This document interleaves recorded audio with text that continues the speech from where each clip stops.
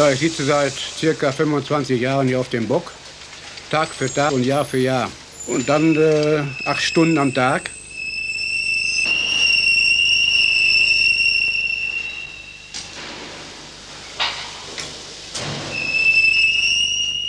Ja, und das Ganze geht dann in Wechselschichten. Und jede Woche wird dann gewechselt. Morgenschicht, Mittagsschicht und Nachtschicht. Höchste Zeit, dass wir runterkommen.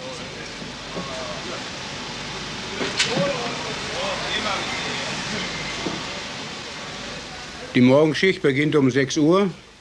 Dann fangen wir mit der Seilfahrt an. Die dauert etwa 20 Minuten.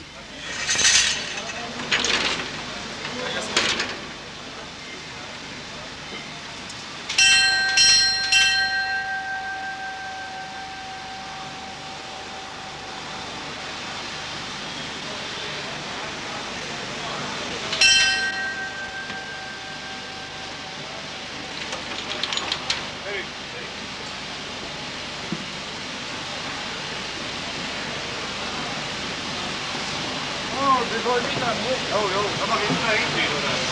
Ja, ja, kann er von hinten Fertig. Alles gut. Die Waffe ist frei. Ja, richtig gut.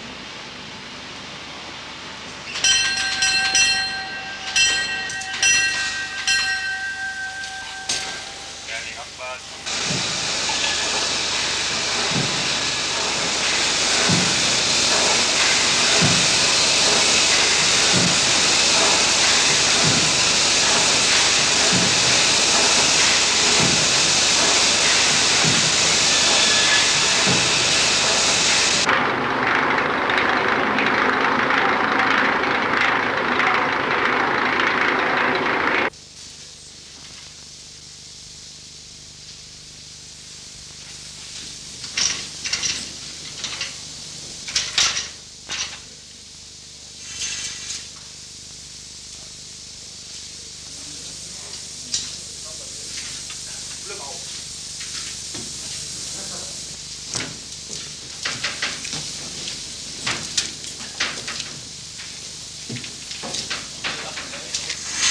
Nach der Seilfahrt geht es dann gleich los mit der Förderung.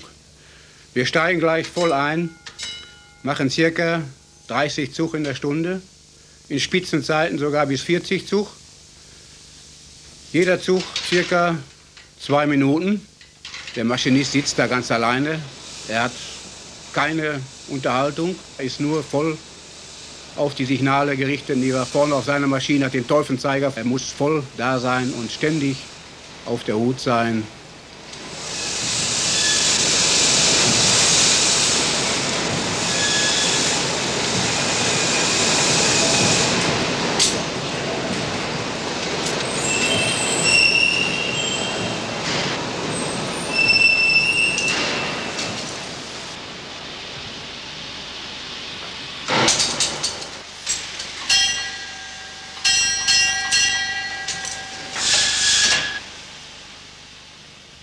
Wir haben vier Sätze, müssen also dreimal umsetzen, bekommen dann circa fünf Fertigsignale.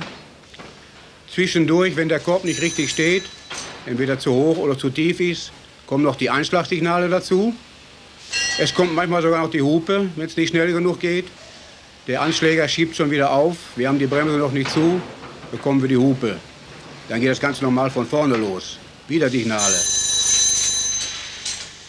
Vor allen Dingen diese schrillen Töne, die gehen dann auf den Nerv.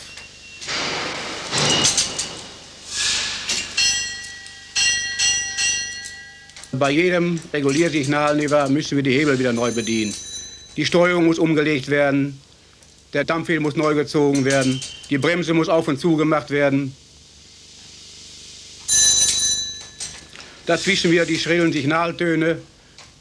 Bei acht Stunden in der Schicht, das sind in ca. 1200 bis 1500 Signale, die auf uns zukommen. Mit der Zeit ist ja ganz klar, wahr, dass das auf den Körper geht. Wenn wir mittags unsere Schicht zu Ende haben, gehen wir genervt vom Bock. Und dann denkt man schon wieder am anderen Morgen, das Gleiche geht von vorne wieder los. Dann kommt noch dazu unsere sture und starre Sitzhaltung. Früher war es ja noch viel schlimmer. Da saßen wir auf diesen Holzstühlen, die man gar nicht verändern konnte. Ewig das gerade Kreuz, die Beine hangen runter.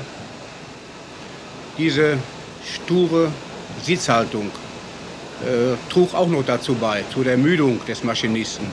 Außerdem saßen wir ganz frei im Raum und im Hochsommer bei den Außentemperaturen kam jetzt noch die Hitze von der Maschine dazu.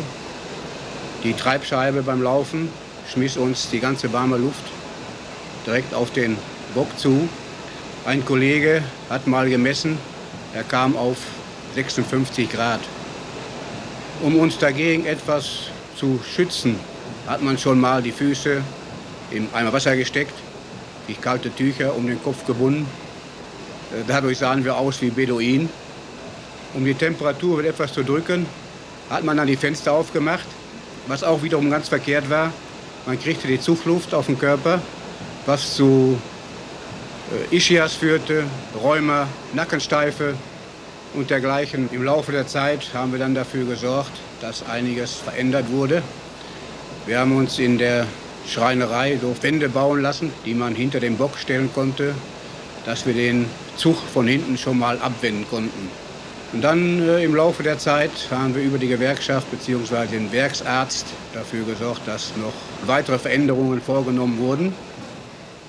Wir haben einen gepolsterten Stuhl bekommen in Art der Busstühle, also die Rücklehne konnte verändert werden.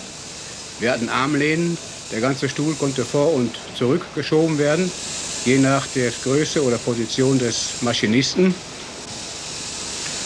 Dann haben wir Kabinen bekommen, die ganz um den Führerstand rumgebaut wurden. Es waren aber keine Klimakabinen, sondern nur Kühlkabinen. In dieser sturen Sitzhaltung, in der wir acht Stunden verbringen, müssen wir uns ja stark konzentrieren auf unsere Signale, auf den Teufelszeiger, müssen Acht geben, dass das Seil gleichmäßig läuft, das Seil nicht schlägt. Neben den vielen Signalen hat der Fördermaschinist auch auf die Maschine zu achten. Wir haben hier Zwillings-Tandemmaschinen. Die haben eine Leistung von 3000 PS und sind aus dem Jahre 1906. Wir als alte Dampfmaschinisten sind natürlich mit äh, unseren Dampfmaschinen sehr verbunden. Ich höre ja genau an dem Lauf der Maschine, ob irgendetwas mit der Maschine nicht in Ordnung ist. Man kann so sagen, wir zwingen der Maschine unseren Willen auf und steuern die Maschine nach unserem Ermessen. Im Gegenteil zu den heutigen vollautomatischen Maschinen, wo der Fördermaschinist nur eine überwachende Funktion hat.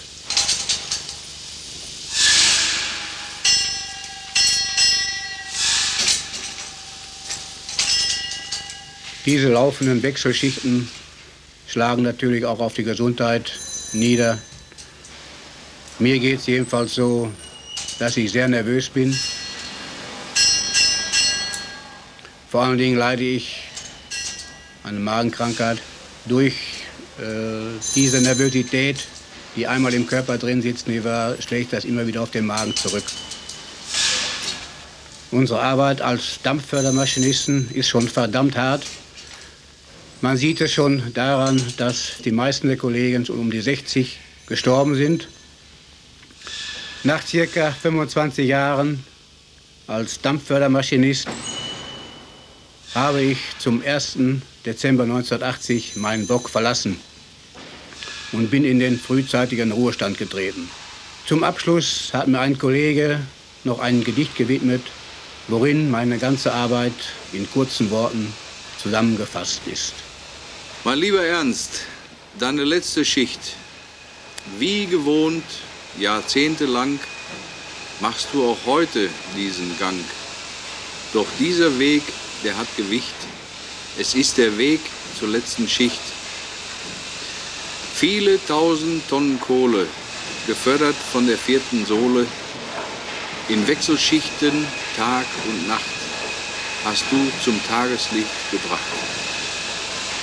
Samstags, sonntags, jederzeit warst du immer dienstbereit. Auf manches musstest du verzichten wegen dieser krummen Schichten. Den Pin legst du nun aus der Hand, gehst in den frühen Ruhestand. Es wünschen dir auf allen Wegen Glück und Gesundheit, die Kollegen. Zu deinem weiteren Lebenslauf ein letztes herzliches Glück auf.